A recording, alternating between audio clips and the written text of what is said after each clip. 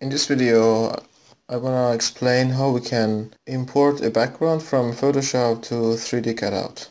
Each layer of the background will be converted into an object in 3D cutout. Also every group in Photoshop can be an object in 3D cutout. The name of each layer in 3D cutout will be the same of that object. Therefore the naming of layer in background is really important when you do it, you do your design in Photoshop.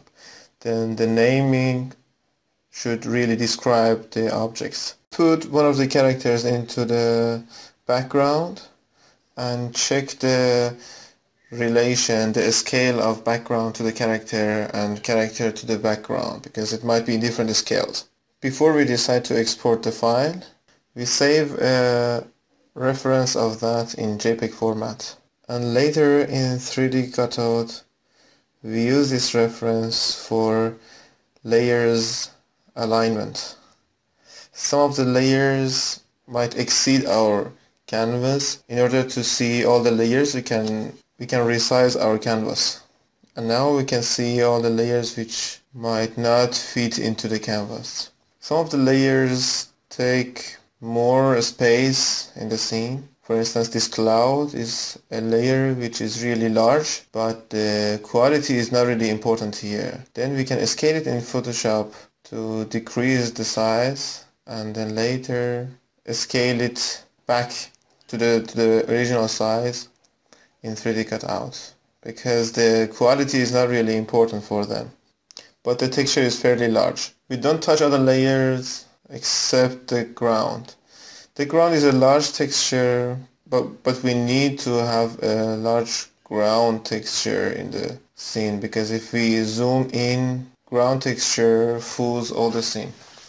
In order to make this layer lighter, we can make a tile of this texture. How can we make a tile of a texture? We open a new file in the size like 2000 to 2000 and we remember this 2000 size because later we will use it.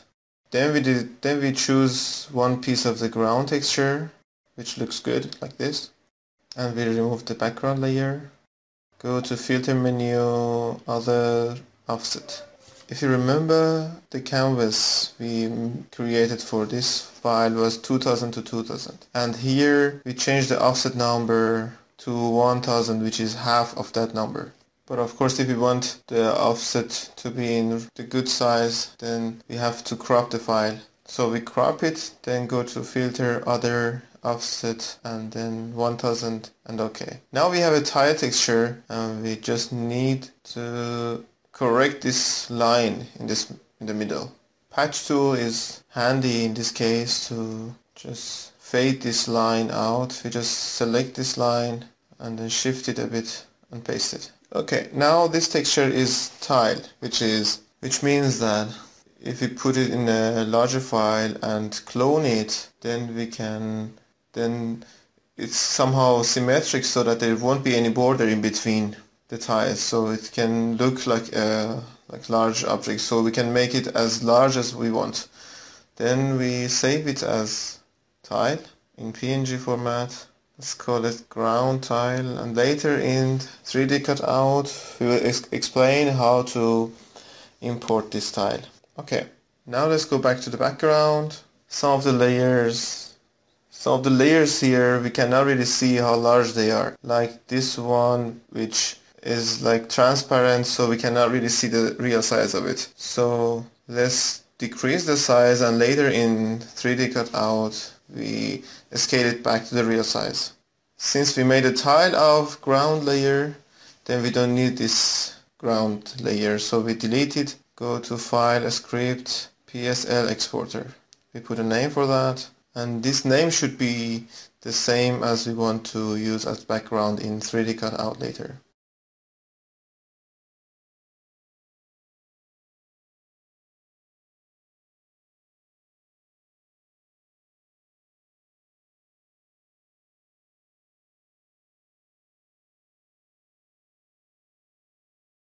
In order to import the backgrounds we have exported in Photoshop into 3D cutout, we use environment generator. We press load PSL and then the PSL file we have exported using Photoshop will be loaded.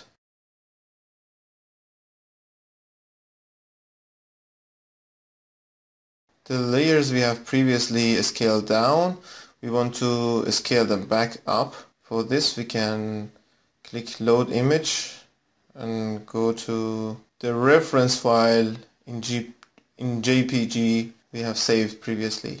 It's good to push the reference layer a bit backwards so that we can easily select the layers. Now we just scale up the whole background to the reference image.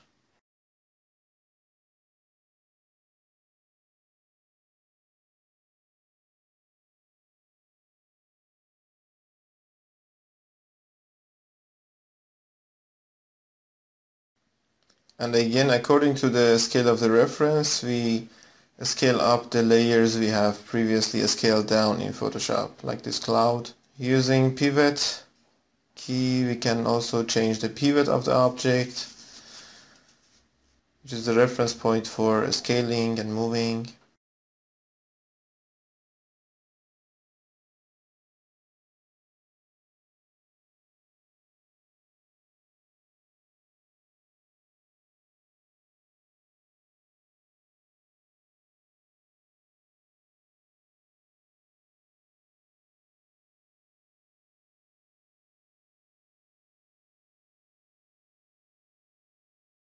Now we press load image and open the tile image of ground we have previously created. Using tile texture we can increase the tile of the ground. Increase the texture of the ground and this, you see that there is no uh, like tiling effect. There is no tiling effect in that. So now we don't need the reference anymore so we can just delete it. Now we want to measure the size of the background compared to a character we have previously saved. So then we go to Asset Browser, choose a character,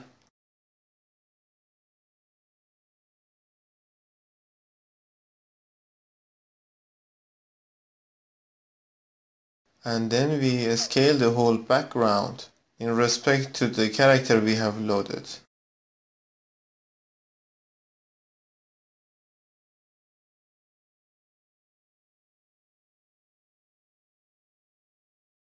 And then we delete this character. First we choose the category we want to save the background in and then make a thumbnail of the background and then we insert the name of the prefix which is by default is the three first letter of the name we have chosen for the background. Then we check the scale checkbox and then we save the background.